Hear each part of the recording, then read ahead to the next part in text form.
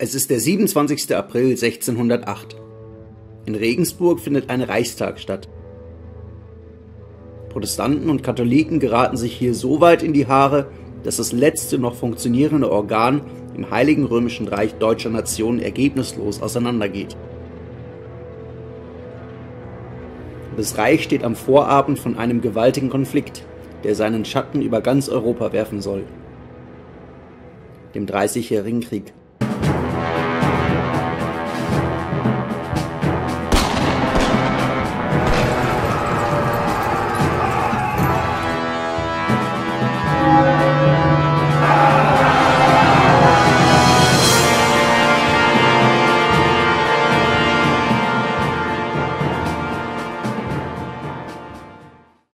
400 Jahre sind es inzwischen her, dass mit dem Prager Fenstersturz der Dreißigjährige Krieg ausbricht. Vom Jahr 1618 bis zum Westfälischen Frieden 1648 durchziehen Heere, Plünderer, Seuchen und Hungersnöte das Land. Mit verheerender Wirkung. Der Krieg selbst wird in der Forschung unterschiedlich gedeutet, ob als Konfessionskrieg, als Staatenbildungskrieg oder als Hegemonialkonflikt. Ein einhelligeres Bild gibt es bei der Einteilung des Krieges in insgesamt vier Phasen: in den Böhmisch-Pfälzischen Krieg, den Dänisch-Niedersächsischen Krieg, den Schwedischen Krieg und den Schwedisch-Französischen Krieg. Wie kommt es aber eigentlich zu diesem Dreißigjährigen Krieg? Was musste passieren, damit die Situation im Heiligen Römischen Reich deutscher Nation so eskalierte? Ein Schlüssel zu dieser Frage liegt im Augsburger Religionsfrieden von 1555. Nachdem Katholiken und Protestanten ihre Bekenntnisse formuliert und gefestigt hatten, hatte dieser versucht, eine Einigung zwischen den Anhängern Luthers und den Katholiken herzustellen. Die aufstrebende Konfession des Calvinismus war dabei außen vor geblieben. Im 16. Jahrhundert sind Politik und Religion nicht wie heute getrennte Sphären, sondern gehören untrennbar zusammen. Das heißt, jeder Religions- oder Konfessionskonflikt neigt immer auch dazu, zu einem gewalttätigen politischen Konflikt zu mutieren. Und das ist eben auch vor dem Augsburger Religionsfrieden passiert. Und äh, der Trick, wie jetzt man versucht, in diesem Frieden ähm, diesen Konflikt zu entschärfen, ist der, dass man akzeptiert, dass man die Religionen nicht vergleichen kann. Also man wird die Wahrheitsfragen nicht in Deckung bringen können in Religionen. Aber man versucht jetzt sozusagen diese, ähm, diesen politischen Konflikt zu entschärfen, indem man sozusagen eine friedliche Koexistenz der Religionen im Reich ähm, ermöglicht. Also eine politische Lösung eines theologisch nicht lösbaren Problems. Die Generation der Stunde Null hatte sich noch darum bemüht, diesen Frieden zu wahren. Bereits eine Generation später treten nun jedoch konfessionelle Hardliner auf, die den Augsburger Religionsfrieden nicht mehr als friedliche Vereinbarung, sondern als Kampfplatz ihrer Interessen erachten und aus den schwammigen Gesetzgebungen ein Maximum für sich herausholen wollen. Mit katastrophalen Folgen.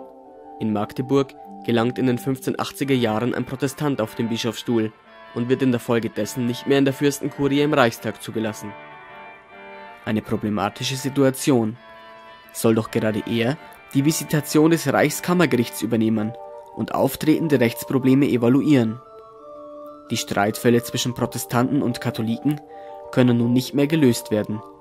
Die Reichsjustiz ist aus dem Gleichgewicht gebracht.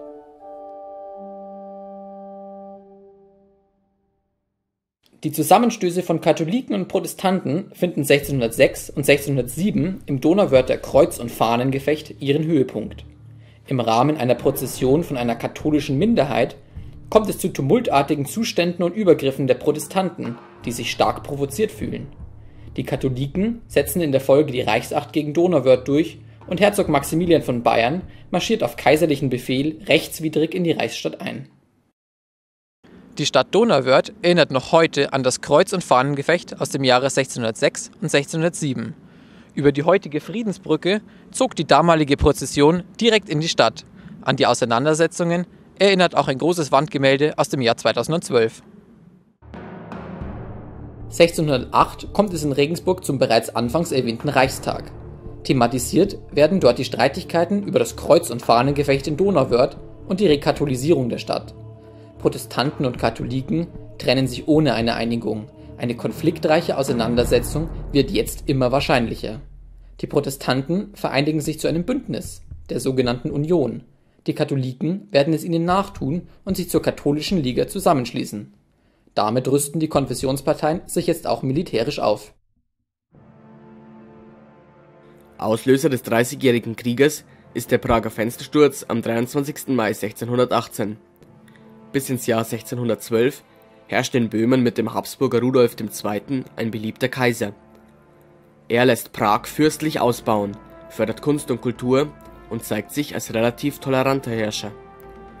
Das Königreich Böhmen verfügt über mächtige Landstände und der Kaiser muss hier in einem Majestätsbrief 1609 konfessionelle Zugeständnisse machen, etwa die freie Religionsausübung der Landeseinwohner oder die Zulassung des evangelischen Kirchenbaus. Kaiser Matthias, der Bruder und Nachfolger von Kaiser Rudolf, will diese Vereinbarung nur zähneknirschend anerkennen. Als dessen Nachfolger Ferdinand II. 1617 bereits König in Böhmen wird, sind die Böhmen schon voller Misstrauen vor einem katholischen, von Jesuiten erzogenen Hardliner. Nachdem zwei von den Böhmen errichtete protestantische Kirchen auf Geheiß der katholischen Obrigkeit wieder abgerissen werden, eskaliert die Situation. Die böhmischen Stände rebellieren, dringen in die Prager Burg ein und zeigen ihren Unmut, indem sie zwei Statthalter und einen Sekretär aus dem Fenster werfen. Sie suchen einen neuen König für Böhmen und finden in dem Calvinisten Friedrich von der Pfalz, dem Anführer der protestantischen Union, ihren Verbündeten. Während die Union nun aber in der Kurpfalz mit den katholischen Spaniern ringen muss, die mit Habsburg verbunden sind, können die Armee des Kaisers und die katholische Liga mit Maximilian von Bayern und Truppenführer Graf Tilly nach Prag marschieren. Die Entscheidung fällt in der Schlacht vom Weißen Berg am 8. November 1620. Friedrich V. von der Pfalz muss wieder fliehen.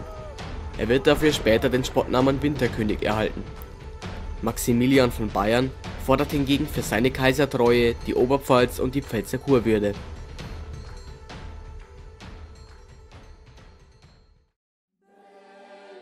Doch damit ist der Dreißigjährige Krieg noch längst nicht vorbei. Mit der Rekatholisierung in Süddeutschland und den gen Norden vorstoßenden Truppen von Graf Tilly wächst bei den Protestanten die Angst um ihre Existenz. Der Protestantismus bedarf einer Schutzmacht, und er findet diese im Dänenkönig Christian IV., der sich davon auch territoriale Gewinne verspricht. Für den Kaiser zieht inzwischen der böhmische Adlige Albrecht von Wallenstein in den Krieg, ein militärisches Organisationsgenie. In der Schlacht von Luther am Barenberge wird Dänenkönig Christian geschlagen. Der norddeutsche Protestantismus scheint besiegt zu sein, während Kaiser Ferdinand am Höhepunkt seiner Macht angekommen zu sein scheint. Fast schon übermütig erlässt er 1629 das Restitutionsedikt, das den Besitzstand der katholischen Kirche von 1552 wiederherstellen soll. Ein politischer Schritt, der dem Kaiser viele Feinde bereitet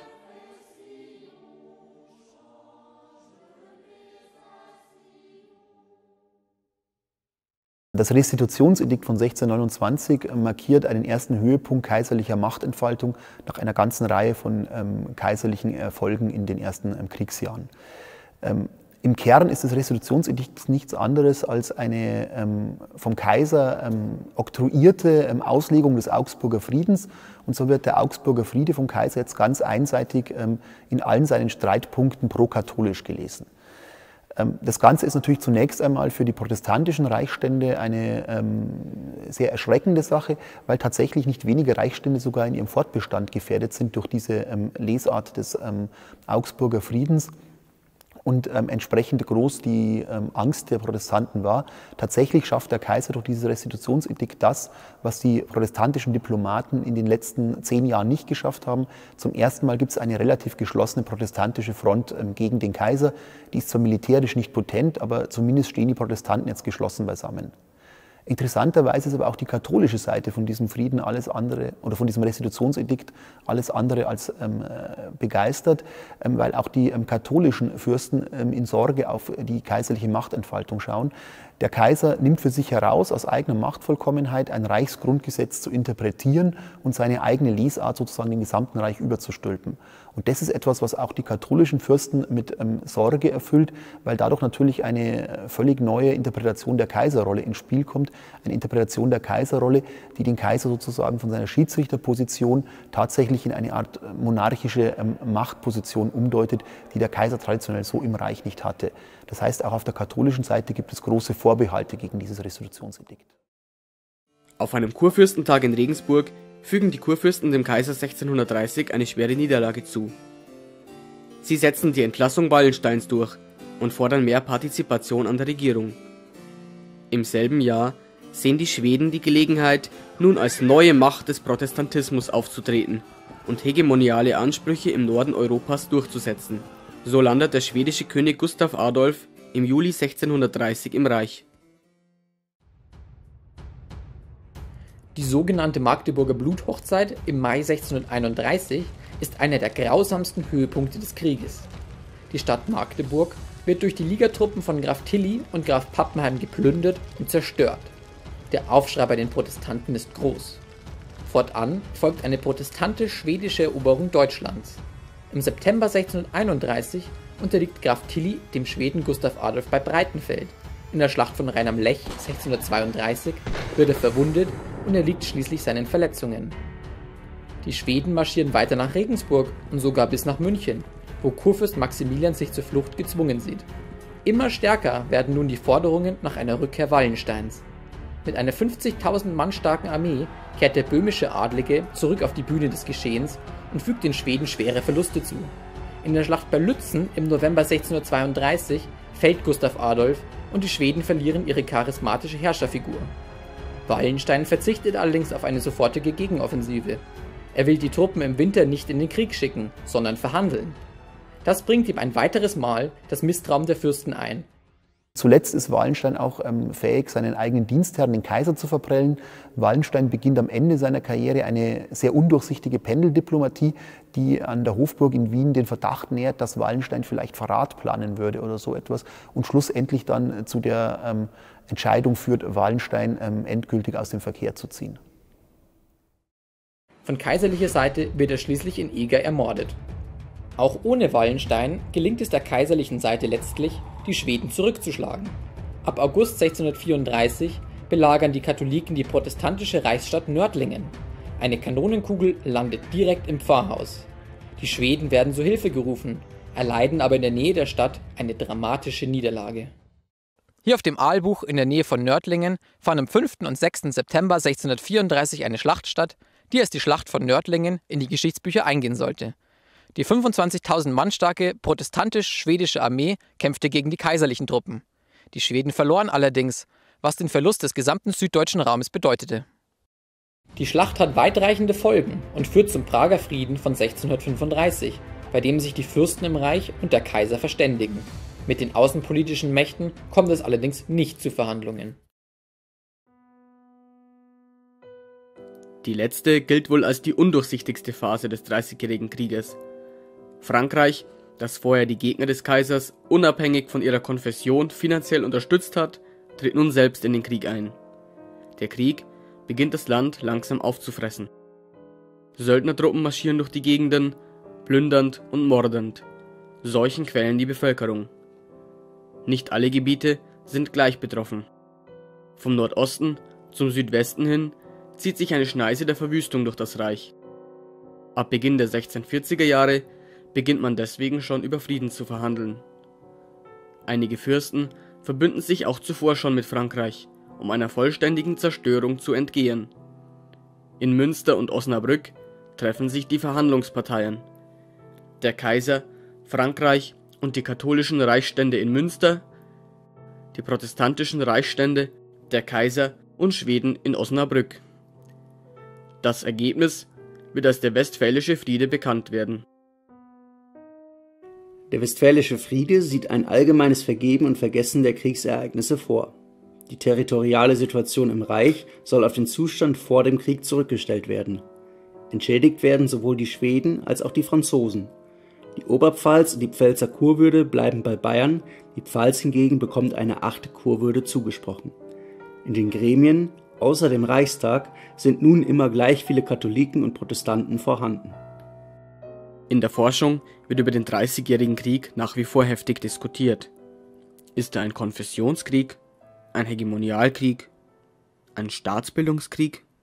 Der Dreißigjährige Krieg ähm, ist vom Konfliktcharakter her nicht ganz ähm, leicht zu beurteilen. In der Forschung gab es da unterschiedlichste Einschätzungen. Man sprach von einem Konfessions-, einem Verfassungs-, einem europäischen Hegemonial oder ähm, auch einem, einem, Staatsbildungskrieg. Also alle diese Positionen sind vertreten und zum Teil auch mit Werf gegeneinander ausgespielt worden. Ich persönlich würde sagen, dass man Konjunkturen erkennen kann im Verlauf des Krieges. Der Krieg beginnt zunächst mal als Konfessionskrieg, also das äh, ist der Auslöser und unmittelbare Anlass des Krieges. Und auch die Zeitgenossen sehen das Ganze so. Bis in den Westfälischen Frieden hinein wird immer die Religion als ähm, Grund für diesen Krieg benannt. An diesen Konfessionskrieg lagern sich dann aber sehr, sehr schnell ähm, verfassungspolitische Fragen an. Also stehen dann Stände ähm, gegen Landesherren, Reichsstände gegen den Kaiser. Und dadurch äh, sozusagen werden auch die Verfassungsfragen, die vorher im Reich schon virulent waren, in diesen Krieg hineingezogen und mit diesen ähm, Konfessionsfragen amalgamiert. Je länger der Krieg dauert, desto stärker wird seine Sogwirkung auf europäische Konflikte, die schon vorher außen um das Reich herum existiert haben. Diese Konflikte werden in das Reich quasi hineingetragen und ähm, am Schluss sozusagen auch im Reich im Rahmen dieses Dreißigjährigen Krieges ausgetragen. Und dadurch wird dann der ähm, Dreißigjährige Krieg auch zu einem europäischen ähm, Großmachtkonflikt, zu einem Hegemonialkonflikt. Und in dem Ausmaß, in dem er das wird, wird im Laufe der Zeit der Konfessionsanteil an diesem Konflikt geringer und dadurch sozusagen die Konfession als Konjunktur ein Stück weit durch die europäische Mächtepolitik abgelöst. Der Dreißigjährige Krieg kostet einer Vielzahl an Menschen das Leben. Besonders betroffen sind davon Schwaben, die Pfalz, Thüringen, Sachsen und Brandenburg. Insgesamt geht die Bevölkerung im Reich von 1618 bis 1648 wohl von 21 Millionen auf rund 13 Millionen Menschen zurück. Erst lange Zeit später kann sich das Reich von den folgenschweren Auseinandersetzungen wieder erholen